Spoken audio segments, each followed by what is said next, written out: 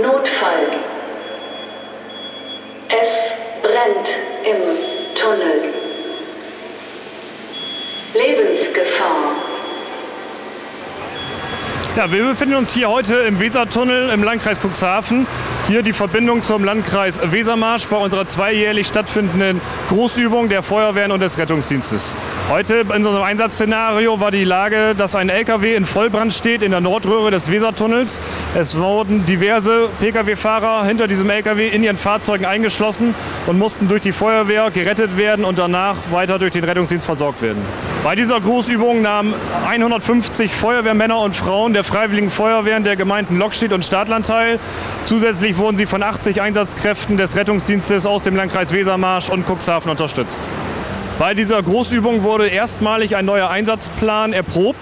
Dieser Einsatzplan wurde zuvor ein Jahr lang in der Theorie ausgearbeitet durch die verschiedenen beteiligten Organisationen und heute die erste Mal praktische Anwendung in diesem neuen Einsatzkonzept ist nun mal die Devise Löschen, um zu retten. Daher ist unsere primäre Aufgabe zunächst im Straßentunnel das Feuer zu bekämpfen.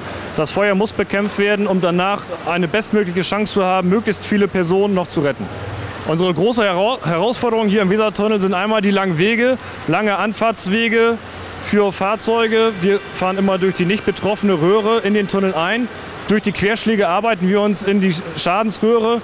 Dort sind lange Wege zu überbrücken unter schwerem Artenschutz. Wir haben dort mit enormer Hitze und auch Rauchentwicklung im Ernstfall zu kämpfen, sodass es auch sehr körperlich belastend für die Einsatzkräfte ist. Ja, heute das erste Mal dieses neue Einsatzkonzept. Man muss sagen, es hat schon für den Anfang sehr gut geklappt. Es gibt noch feinere Stellschrauben, wo noch mal nachgebessert werden muss. Vor allem im Bereich Funktechnik und auch Zusammenarbeit zwischen den Feuerwehren beider Kommunen gab es noch leichte Abstimmungsschwierigkeiten. Diese werden aber jetzt abgestellt, sodass auch weiterhin die Autofahrer im Wesertunnel sicher hier durchfahren können. Hier im Wesertunnel kam es glücklicherweise noch zu keinem Brandereignis. Der Wesertunnel ist seit jetzt 15 Jahren eröffnet. Wir wurden lediglich einmal zu einem Brandeinsatz alarmiert, dort aber in der technischen Überwachungszentrale, sodass der Wesertunnel eigentlich als sehr sicherer Tunnel zu bewerten ist.